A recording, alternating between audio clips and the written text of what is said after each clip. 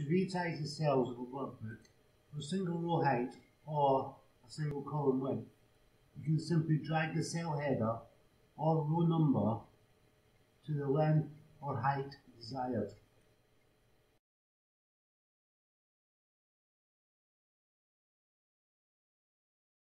Or you could right click on the column header and select column width and choose any size you want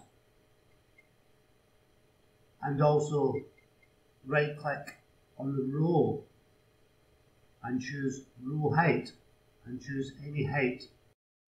To format all the cells at once, you can click on the top left hand corner and highlight every cell and then right click on any column header and set the desired size.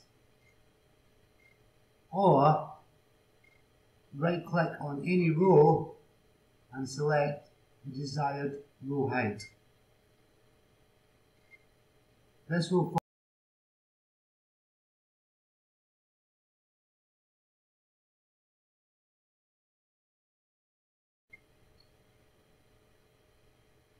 to automatically format columns or rows to the size of the text contained within them, you can double click on the right of the column header or the bottom of the row number.